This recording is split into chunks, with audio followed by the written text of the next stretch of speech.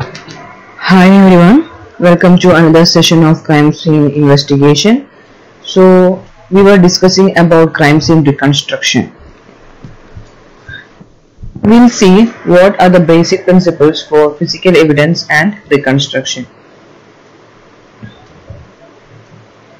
The foundation of crime scene reconstruction is established by the following basic principles used in the forensic examination of physical evidence. We all know that the basic concept of forensic science and is the Locard theory of uh, exchange. So Locard's principle of exchange means what? Every contact leaves a trace. So from the crime scene we will get anyway any material that can link with the victim and suspect or but the thing is that maybe some lack of the uh, transfer of these materials has limited value in the forensic laboratory examination. It still has significant importance in crime scene reconstruction.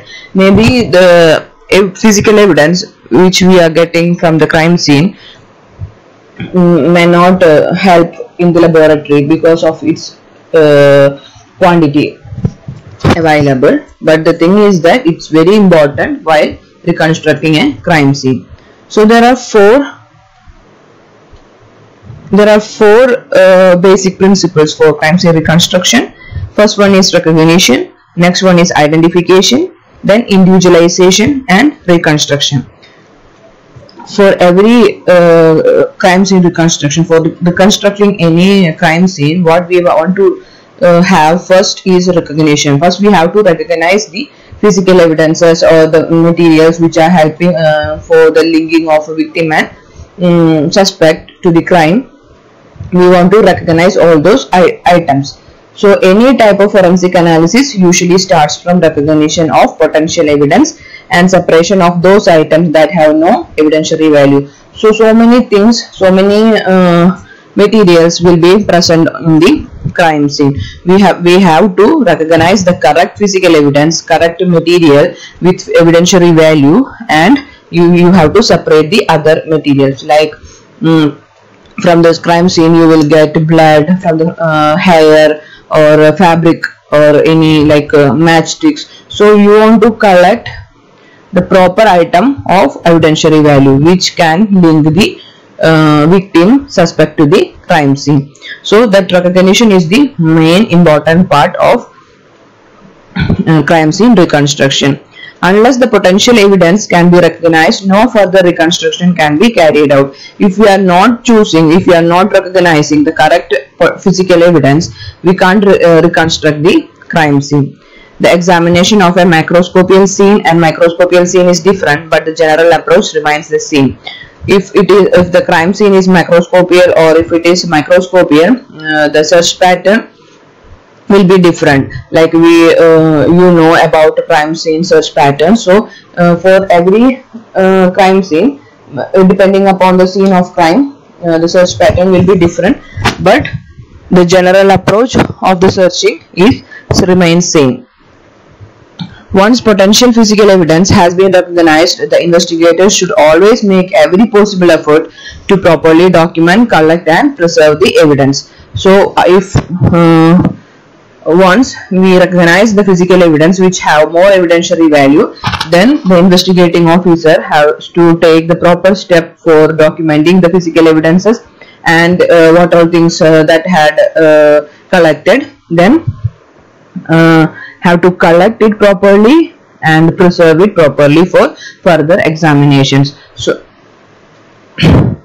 the investigator should always contact an expert in the field before any alteration of the evidence is done.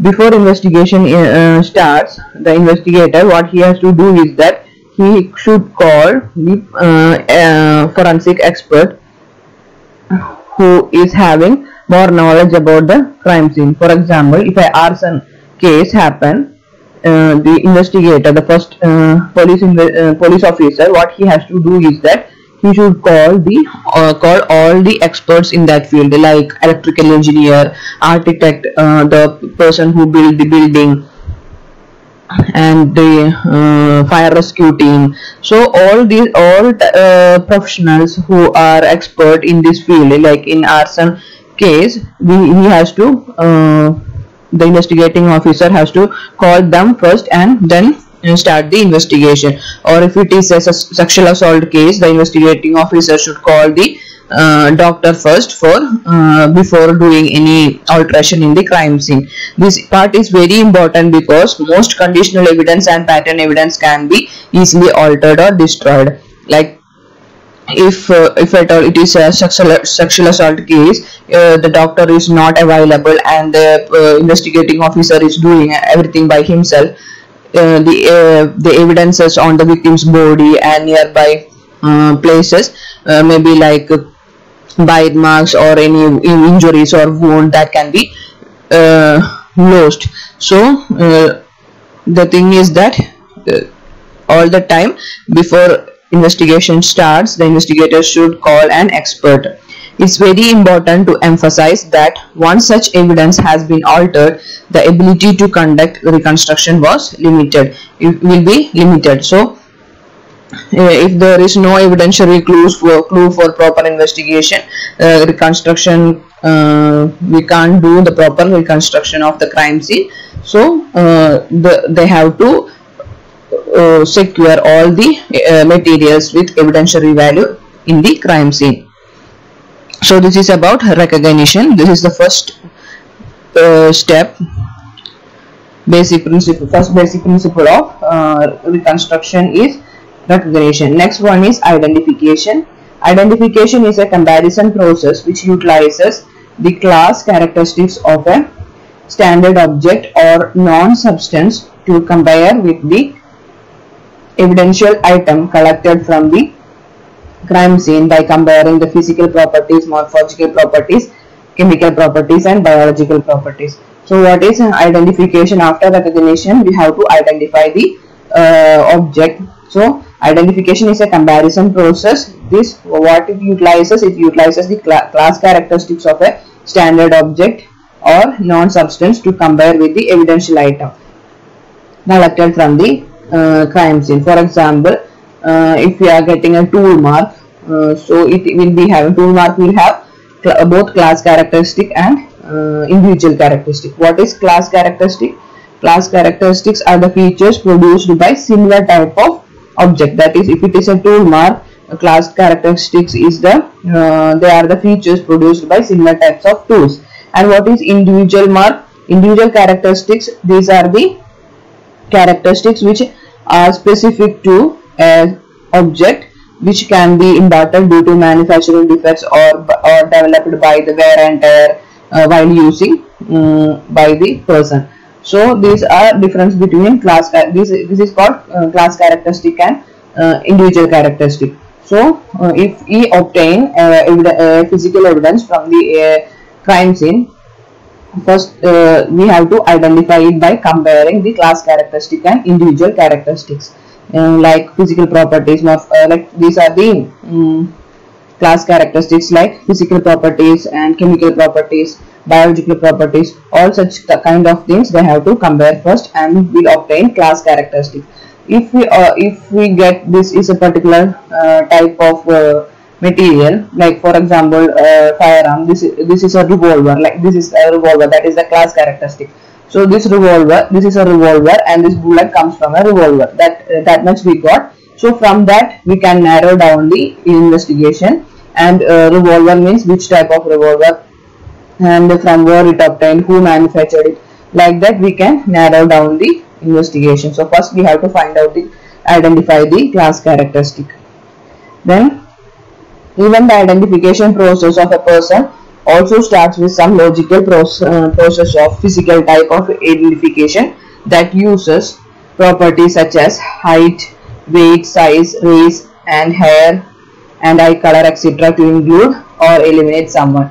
Uh, this is also applicable in case, case of an individual like a human being. Uh, for example, uh, if we get a type of uh, shoe print from a particular crime scene, we can, by identifying the footprint we can find out that this person's height is this much.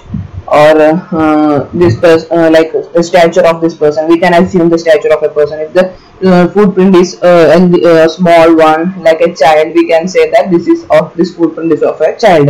If the footprint is very big like 10 in size we can say that this person's height is about um, 6 feet and uh, he is a statured person. Like that we can identify from uh, uh, from that scene. If we if the if we got some hair uh, scalp hair from the crime scene we can uh, identify or like race of the person and such kind of things. So this is a this is class characteristic. The more specific measurements can be carried out to individualize a person. Uh, before in 1990s uh, uh, like uh, what a system called anthropometry was developed by Alphonse Bertillon and anthropometry means measurement uh, identifying a person by his body measurements. So uh, like that uh, the same procedure for physical evidence and also for identifying a person is there. Then we told about class characteristics and individual characteristics after identifying the whole character of that uh, the class character after that we have to identify the individual character character of that uh, evidence or even if it is a human being. We have two more principles that we have we will discuss in the next session. Thank you